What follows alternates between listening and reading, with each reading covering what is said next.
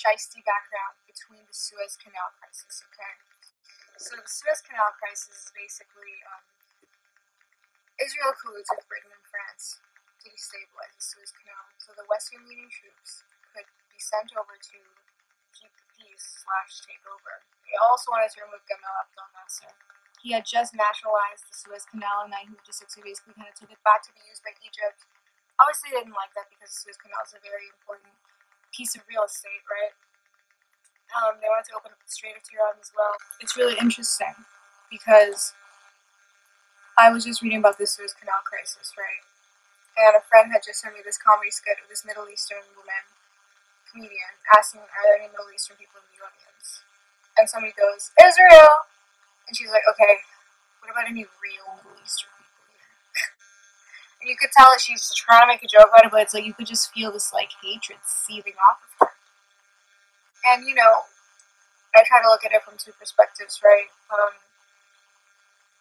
imagine how bad that Israeli person felt, but also knowing about these things like the Suez Canal crisis. Like, technically, yeah, if we're just kind of looking at countries like we're looking at a chess set or whatever, you know, we're kind of dehumanizing them and just seeing them as cogs or whatever, pieces in a game.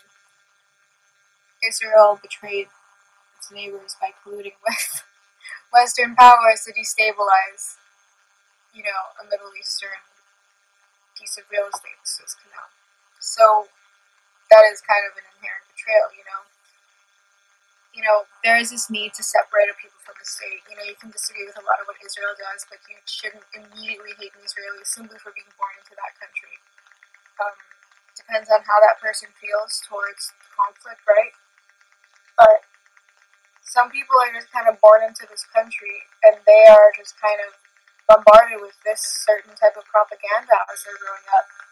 And how do they really have a chance to figure out what's actually happening?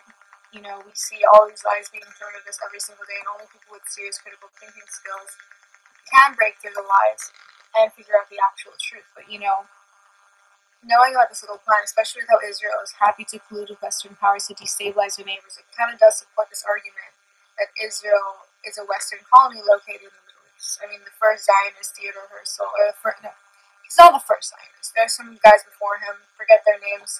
They're on Theodore Herzl's Wikipedia page. I fucking, I love going on the page and just reading it over and over again. I'm just like super like crazy about it. But, you know, Theodore Herzl is one of the biggest and first Zionists, right? And this guy is an Ashkenazi Jew, he's a Western Jew, he's an Eastern European man that practiced, really not practice, that was born into Judaism and didn't really practice it too much growing up. But the Suez Canal crisis is a really great example of this fact that Israel is willing to throw their neighbors under the bus, their supposed brothers. Sorry about that. That Israel is willing to throw its supposed brothers under the bus and shack up with Western powers for their benefit. So it kind of makes sense why, you know, the Arab countries don't really like Israel. Kind of makes sense.